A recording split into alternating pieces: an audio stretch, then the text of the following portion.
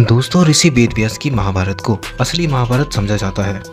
लेकिन ये कहा जाता है कि वो महाभारत तीन चरणों में लिखी गई थी। उसके पहले चरण में 8,800 श्लोक लिखे गए थे और दूसरे चरण में 24,000 श्लोक लिखे गए। और अगर तीसरे चरण की बात करें तो उसमें लगभग एक लाख श्लोक लिखे गए थे। यानी कि कुल मिला के एक लाख बत्तीस हज़ार आठ सौ श्लोक लिखे गए। दोस्तों, इतने सारे श्लोक लिखने में, आजकल के समय में भी लोगों के पसीने छूट जाएँगे। और उस समय में इन श्लोकों को लिखना किसी चमत्कार से कम नहीं था। और ये चमत्कार पार्वती पुत्र गणेश के अलावा और कोई नहीं कर सकता था। दोस्तों, ये कहा जाता है कि महाभारत को हर घर में होना चाहिए। और इसके साथ ही महाभारत को पंचम वेद भी कहा गया है। और इस महाभारत के अंदर कई ऐसी घटनाएँ, संबंध और ज्ञान विज्ञान के रहस्य छुपे हुए हैं, जो आज तक हमसे छुपाए गए हैं। महाभारत का हरेक पात्र जीवंत है, चाहे वो कौरव, पांडव, कर्ण, कृष्ण या फिर कोई और हो। दोस्तों, हमारी पिछली वीडियो में हमने ये कहा था कि जब कर्ण आखिरी साँसें ले रहा था, तब कृष्ण ने ब्राह्मण बनकर कर्ण से दान में सोना मांगा था और कर्ण ने सोने की जगह अपना सोने का दांत दिया था। वहीं कुछ लोगों का ये कहना था कि कर्ण का सर धड़ से अलग हो गया था तो वो अपना दांत कैसे दे सकता है? तो मैं आपको बता दूँ, जब अर्जुन ने कर्ण को तीरों से लहूलुहान कर दिया था। उसके बाद ही श्री कृष्ण गए थे और सोने का दान देने के बाद ही कर्ण का सर धड़ से अलग हुआ था, क्योंकि श्री कृष्ण को पता था कि आखिरी बाण कर्ण के प्राण ले लेगा। मुझे उम्मीद है आपका डाउट क्लियर हो गया होगा। और आज की इस वीडियो में हम महाभारत के कुछ और रहस्य जानने वाले हैं, जिसके बारे में हमें कभी बताया नहीं गया है। इसलिए इस वीडियो को पूरा ज़रूर देखना, क्योंकि अधूरा ज्ञान किसी काम का नहीं होता। वीडियो में आगे बढ़ने से पहले, अगर आप हमारे चैनल पर पहली बार आए हैं तो चैनल को सब्सक्राइब करना ना भूलें। क्योंकि मैं आपके लिए ऐसे इन्फॉर्मेटिव वीडियो लाता रहता हूँ। तो चलिए फिर वीडियो की शुरुआत करते हैं।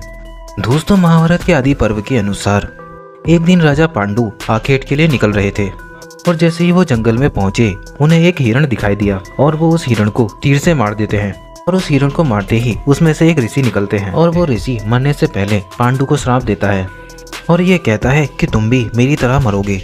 और इसी डर से पांडु अपनी सारी संपत्ति धृतराष्ट्र को सौंप देता है और वो अपनी पत्नी कुंती और माधवी के साथ जंगल में चले जाते हैं। जंगल में जाने के बाद वो सन्यासी का जीवन व्यतीत करने लगते हैं। और पांडु बहुत दुखी थे क्योंकि उनकी एक भी संतान नहीं थी।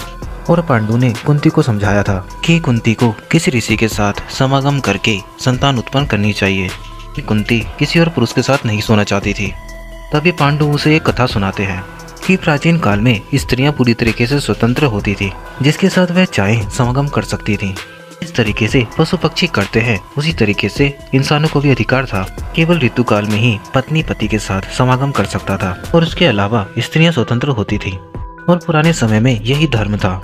और कोई भी इसका विरोध नहीं करता था, क्योंकि उस समय में ये एक साधारण सी बात हुआ करती थी। उसी समय एक उद्दालक नाम के प्रसिद्ध मुनि भी थे। एक पुत्र था, उसका नाम श्वेत केतु था। एक बार श्वेत केतु अपनी माता पिता के साथ बैठा था। तभी एक ब्राह्मण आया और श्वेत केतु की माँ का हाथ पकड़कर बोला, आओ चले और अपनी माँ को इस तरीके से जाते देख। श्वेत केतु बहुत ही गुस्सा हो गया। लेकिन तभी उसके पिता ने उसे समझाया कि नियम के अनुसार स्त्रियाँ गायों की तरह होती हैं, जो किसी के साथ भी समागम करने के लिए स्वतंत्र होती हैं। इसके बाद ही श्वेत केतु ने यह नियम बनाया था कि स्त्रियों को पति के प्रति वफादार होना चाहिए और उसे किसी अन्य पुरुष के साथ किसी भी तरीके का संबंध नहीं बनाना चाहिए। इसके बाद पांडु कुंती को और भी कथाएँ सुनाते हैं और कुंती को ये विश्वास दिलाते हैं कि किसी और पुरुष के साथ अगर वो समागम करती है तो उससे कोई भी पाप नहीं लगेगा। दोस्तों, ये कहानी बहुत ही कम लोग जानते होंगे, लेकिन यही सत्य है। और अगर इस कहानी को बताने में मुझसे कुछ कमी रह गई हो तो उसे कमेंट में लिखना ना भूलें। और ऐसे ही कई रामायण और महाभारत के कुछ अनसुने रहस्यों को मैं अपने चैनल पर लाता रहूँगा। इसलिए हमारे चैनल को सब्सक्राइब करना ना भूलें। और अगर वीडियो से आपको थोड़ी सी भी जानकारी मिली हो तो वीडियो को लाइक ज़रूर करें।